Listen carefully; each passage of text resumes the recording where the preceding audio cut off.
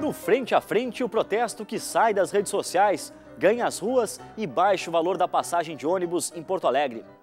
Será que estamos diante da retomada das grandes mobilizações de jovens e estudantes? Para responder estas e outras questões, vamos entrevistar representantes de dois grupos que participaram ativamente das manifestações na capital gaúcha. No fundo, se reclama eh, oportunidades para a população participar das coisas que são realmente importantes e relevantes para a sociedade como um todo.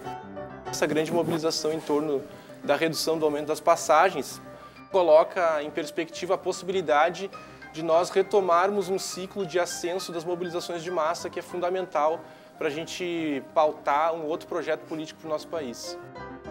Frente a frente, neste domingo às nove da noite,